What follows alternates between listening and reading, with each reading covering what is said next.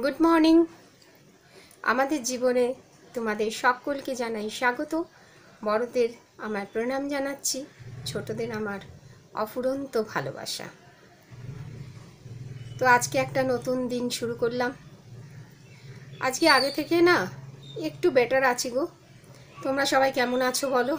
নিশ্চয়ই তোমরা সবাই খুব ভালো আছো। আশা করি ভালো অবশ্যই থাকবে। তো এখন আবার কিন্তু করোনার প্রকোপটা খুব বেড়েছে। তোমরা কিন্তু সবাই খুব সাবধানে থেকো। তো যাই হোক, এখন সকালবেলা কিছু কাজকর্ম করে নিয়েছি। করে নিয়ে এখন ব্রেকফাস্ট বানাবো। তাই একটু দোকানে গিয়েছিলাম, জানো? এই দোকান থেকে সবে আসলাম, এসে এখন তোমাদের সাথে কথা বলছি। তারপর আবার ব্রেকফাস্ট বানাবো। দোকান থেকে আমি কি কি জিনিস কিনে আনলাম তোমাদের একটু দেখাই। দোকান থেকে আমি কিনে এনেছি একটা পাউরুটি আর এই কাউ মিল্ক এটা দিয়ে ওই মেয়েকে ছানা দিই। আর তোমার এখানে একটা ইপি এনেছি, এনে রেখেছি। যদি কোনো সময় সন্ধেবেলা কিছু টিফিন খেতে হয়, আর একটা কেক। এই আজকে মোটামুটি এনেছি। তো আজকেও বাবা তাড়াতে রয়েছে, কালকেও বাবা তাড়াতে ছিল, আজকেও বাবা তাড়াতে। তো আমাকেও যা টিফিন দিয়েছে, বাবাকেও তাই টিফিন দিয়েছে। তো আমি ভাবলাম বাবার সাথে রসিয়ে রসিয়ে গল্প করতে করতে খাব, সেটা হবে না। উনি পাশের ঘরে বসে ফ্যান চালিয়ে, কারণ আমি এখানে ভিডিও করছি, ফ্যান চালাতে পারব না। সেই জন্য উনি পাশের ঘরে ফ্যান চালিয়ে উনি খাচ্ছে সেখানে। তাড়াতাড়ি তাড়াতাড়ি করে খাচ্ছে, কারণ ওনাকে কাজের জন্য একটু বেরোতে হবে।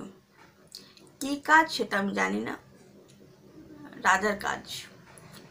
রাজার কি যেন বলে না রাজার পাঠ। একটা আছে না কথা, বাংলাতে প্রবাদ, রাজার পাঠ, সেটা করতে যাবে বাবা। তো যাই হোক, বাবা, বাবার সাথে বাবাকেও একে ব্রেকফাস্ট দিয়েছে। তো যাই হোক, বাবা খেয়ে বেরিয়ে যাবে। আমি বাবা আসলে পরেই বাবার সাথে এক্সারসাইজ করব। যখনই ফিরে আসুক, তখনই এক্সারসাইজটা করব। তারপরে লাঞ্চ এটাই প্ল্যান আপাতত। এই প্ল্যানেই এগোচ্ছি। আবার পরিবর্তন হবে কিনা জানি না। আমি এখন এই যে স্যান্ডউইচ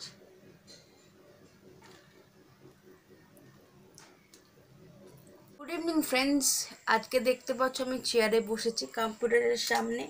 কম্পিউটারটা অন করব আজকে। অনেক দিন ধরেই প্ল্যান করছিলাম যে কম্পিউটারটা দূরেও জমে গেছে। কম্পিউটারটা সাজিয়ে রাখা, তো পুতুল যেন শোপিস যেন। তা আজকে কম্পিউটারটা অন করব, সেই জন্য বসেছি চেয়ারে আস্তে আস্তে। তো আজকে একটা ফোন এসেছিল আমাদেরই সাবস্ক্রাইবার আমাদের পাশার পাড়াতেই ওনাদের বাড়ি ছিল, এখনও রয়েছে। দিদিটা দিদিটাদের বাপের বাড়ি এখানে, দিদিটার বিয়ে হয়ে গেছে। তো দিদিটা আসবে, সাথে কে আসবে আর জানি না। তো দিদিটাই ফোন করেছিল যে দিদিটা আসবে আজকে আমাকে দেখতে। জানতো না যে আমার এরকম অবস্থা।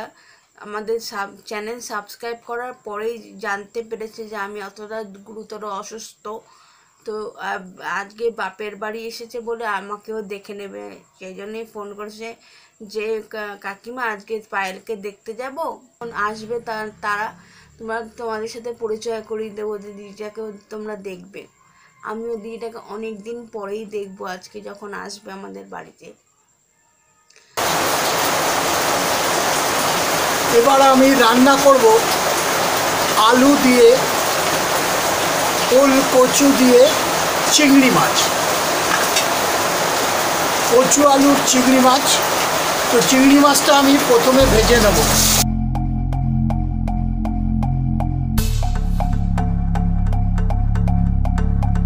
ওল একটু ভেজে নেব।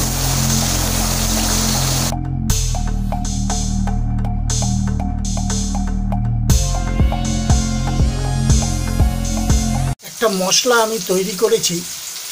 মশলাটা হচ্ছে জিরে গোটা, একটু সাদা সর্ষে টমেটো, কাঁচা লঙ্কা এবং একটু পোস্ত। এই দিয়ে আমি এই মশলাটা তৈরি করেছি। এটা দিয়েই আমি ওলকচু চিংড়ি করব। আমার ভাজা হয়ে গেছে। আমি এর মধ্যেই একটু কালো জিরে ফোড়ন দিয়ে দেবো।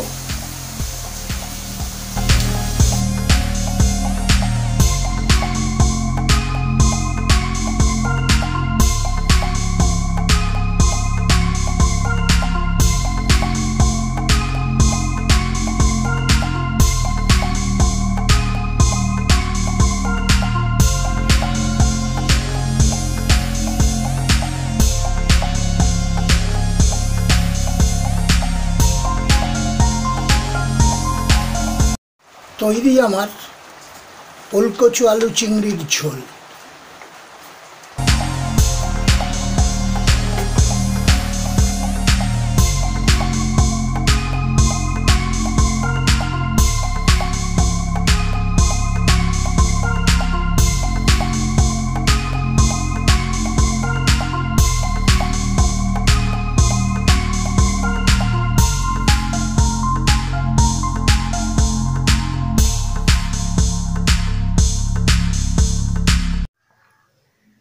নমস্কার বন্ধুরা। তো আমি সকালবেলা একটু বেরিয়ে গেছিলাম, যার জন্য আপনাদের সাথে দেখাও হয়নি, কথা বলাও হয়নি। তো এই দুপুরবেলা আমি এসছি, স্নান করে আসতেই দেখছি ভাত রেডি করে দিয়েছে আমাকে। তো আমি খেয়ে দিয়েই আবার বেরোবো। কারণ আজকে আমাদের একটা অনলাইন কম্পিটিশন আছে, নাচ এবং আঁকার আজকে কম্পিটিশনটা তো ওখানে থাকতে হবে। ওই জন্য আমি বেরিয়ে যাব আজকে তাড়াতাড়ি।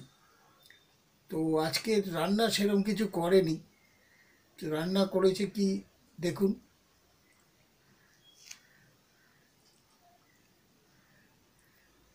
আলু সেদ্ধ করেছে। তো আলু সেদ্ধটা আমি এখন একটু মেখে নেব।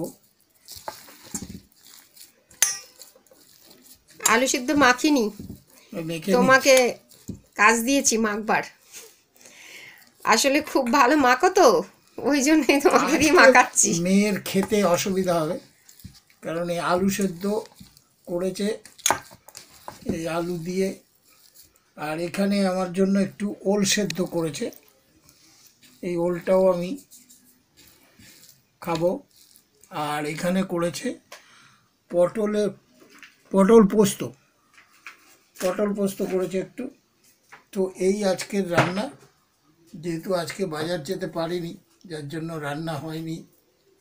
যা ছিল ঘরে তাই দিয়েই করে ফেলেছে, কারণ আমি সকালবেলা উঠেই বেরিয়ে গেছিলাম। এই কম্পিটিশনের ব্যাপারে একটু যাতায়াত করতে হচ্ছে, যেহেতু অনলাইন কম্পিটিশন সমস্ত ফোনে আসছে, সেগুলো সব পিকচার করতে হয়েছে একসাথে নিয়ে, যার জন্য এই নামগুলো রেডি করতে হয়েছে সব। তো সেই জন্যই একটু আজকে সকাল থেকেই বেরিয়ে গেছিলাম আমি। আপনাদের সাথে দেখাও হয়নি। যাই হোক সবাই ভালো আছেন তো? নিশ্চয়ই ভালো থাকুন। কারণ ভালো থাকতেই হবে আমাদের, বলুন। কারণ থার্ড ঢেউ আসছে। সেই জন্য বলছি, সবাই একদম ইমিউনিটি পাওয়ার বাড়িয়ে তুলুন। যাতে কোনো রকম টাচ না করতে পারে আমাদের। তো সাথে থাকুন, আমি এখন খাওয়া দাওয়াটা করি।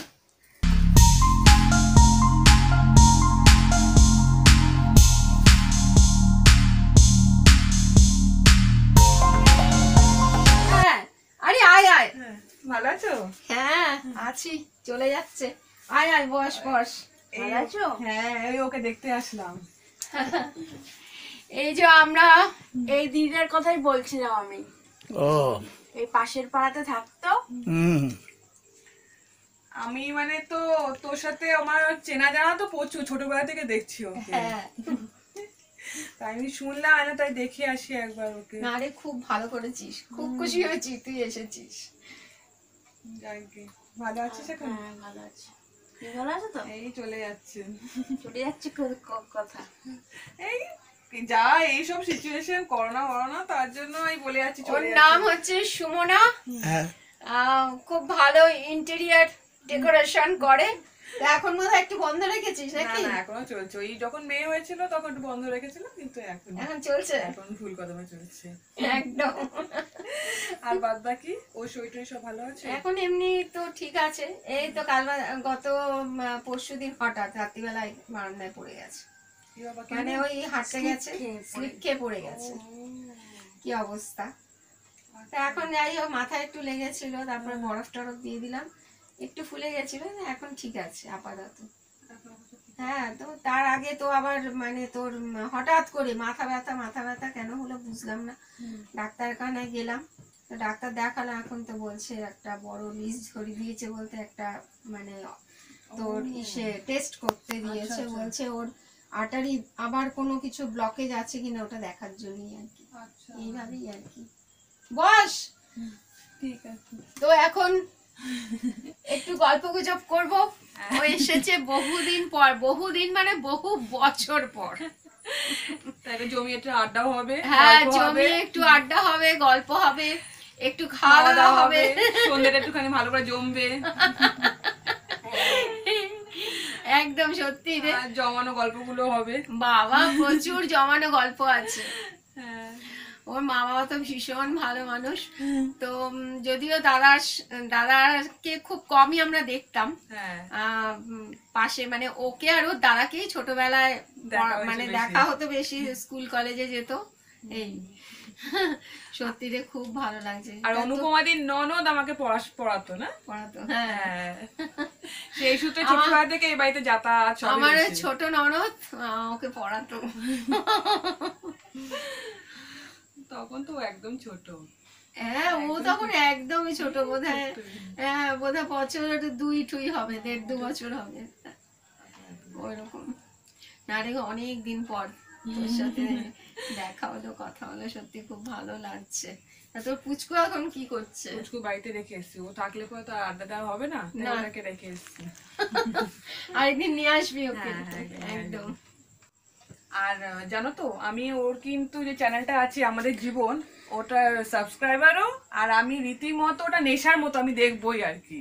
আচ্ছা। মানে আমি তো নিজেও দেখি এবং আমার ফ্রেন্ড লিস্টে সবাইকে ছড়িয়ে দিয়েছি তারাও দেখে এবং তারাও সাবস্ক্রাইব তো হয়েছে সেটা তোমরা দেখলেই বুঝতে পারবে ভিওর লিস্টে তো মানে আমি চেষ্টা মানে আমি সবাইকে বলছি, আপনারাও একটু দেখুন আপনারাও ওর পাশে দাঁড়ান।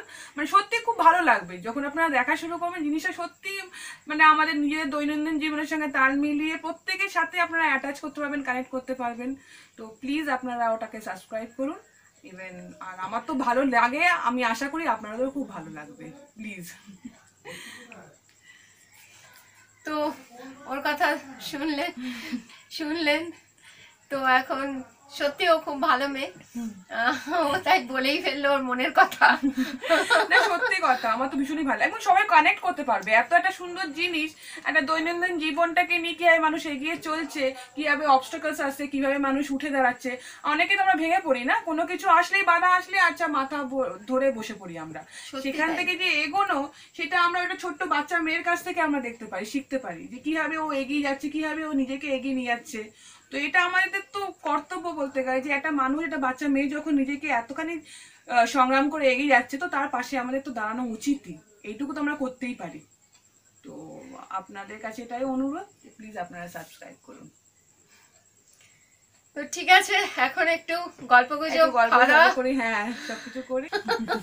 আরেকদিন নিয়ে আসবি ওকে। হ্যাঁ, হ্যাঁ, একদম, একদম তো তোমরা সাথে থাকো এখন একটু খাওয়া দাওয়া গল্প গুজব করি। তারপর আবার নেক্সট ভিডিও শুট হবে। খাবার বাবা কিনতে গেছিল। বা দিদিটা বলল যে তুই পায়েল যবে তুই সুস্থ হবি তখন আমি এসে ভরপেট খেয়ে যাব। তো আমি তো হাসলাম কবে আমি সুস্থ হব তবে এসে খাবে। তো বাবা বলল যে যখন ও খেতে চাইছে না আবার বাবা খাবার নিয়ে ফিরে মানে ফিরে এলো আর কি মানে বাড়িতে ফিরে এলো। তো দিদিটা না খেয়েই চলে গেল। বলল যে পরে একদিন খেয়ে মানে এসে খেয়ে যাবে আর কি, সুস্থ হলে আমি। তখন আরেকবার আসবে দিদিটা। তো দিদিটা, মা একটু এগোতে গেছে দিদিটাকে। তো এখন আমি আর বাবা রয়েছি বাড়িতে। তো এখন সিস্টেমটা অন করেছি অনেকদিন আগ- পর- পরে। দেখতেই পাচ্ছ। এখানে সব ফোল্ডার্স রয়েছে আমার। সব কাজ করা এখানে। তো আমি একটা এখন কম্পিউটারে কাজ করব, দেখব কোন ফাইল কোথায় আছে। তো এখানেই ভিডিওটা এন্ড করব। তো তোমরা দেখলেই অনেক দিন পরে কম্পিউটারটা অন করলাম। আর রাইট হ্যান্ড দিয়ে কম্পিউটার অপারেট করছি, কারণ লেফট হ্যান্ড কাজ করে না, তোমরা জানোই। লেফট হ্যান্ড দিয়ে কম্পিউটার ধরতে পারব না আমি। তো রাইট হ্যান্ড দিয়ে কম্পিউটার অপারেট করছি। তো ভিডিওটা যদি ভালো লাগে তোমাদের লাইক শেয়ার করো।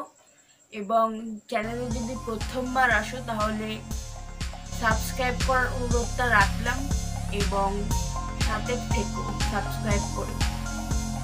আর কমেন্ট করে জানিও যে ভিডিওটা